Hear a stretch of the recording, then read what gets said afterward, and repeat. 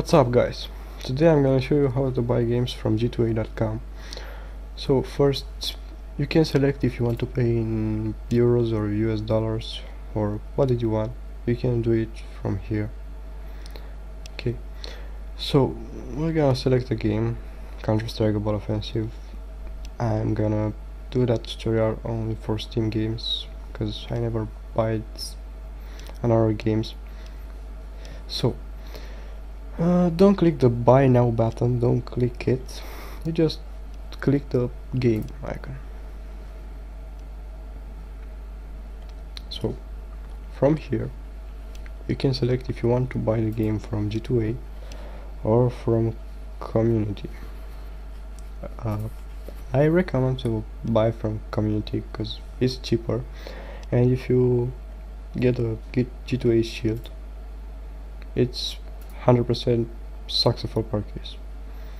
I bought from the community without G2A and all works fine. So uh, you can disable that G2A shield if you want. So hit the buy now button and here you can select if you want to donate or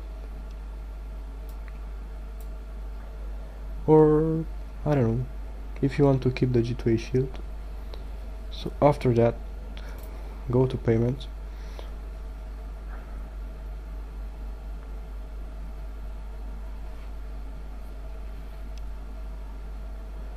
here you need to check out and select your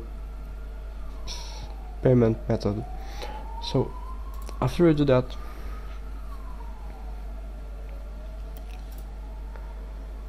Um, after you do that you receive a kind of link. Wait sorry.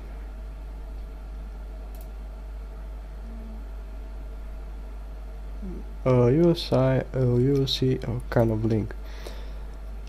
With this link wait.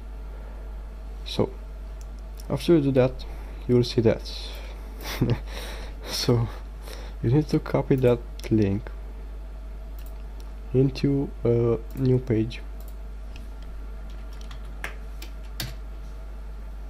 Just gonna do that.